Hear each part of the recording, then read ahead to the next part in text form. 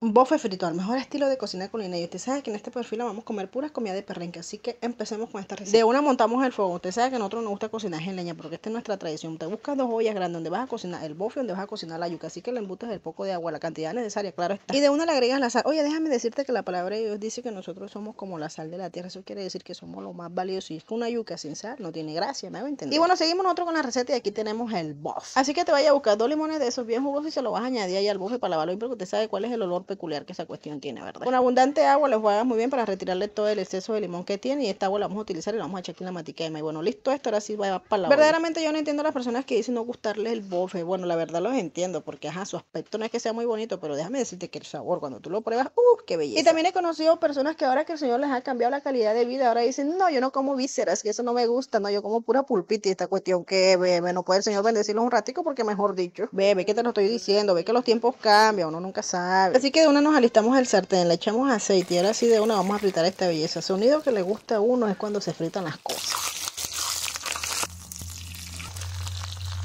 Esa es mucha cosa bonita. Bueno, sacamos esta cuestión y esto ya nos vamos de servir, porque es que si ya el bofe está y la yuca también está, así que vamos a emplatar esta belleza. Y como en el campo nosotros no nos gusta ensuciar casi losa, casi chisme, como decimos, buscamos por ahí una hojita de plátano de mafufi servimos esa cuestión. La yuca que salió bien blanquita, bien harinosa, y sirves esa cuestión como a ti más te guste. Vea. Y de una, mi gente, le vamos a echar esto, un toque de suero que queda al pelo. Así que te sirves esta cuestión como a ti más te guste, porque este te lo vas a comer, es tú, mis amores. Así que hoy una vez más rescatamos esas bellas tradiciones de campo que no podemos dar. Bendiciones para todos.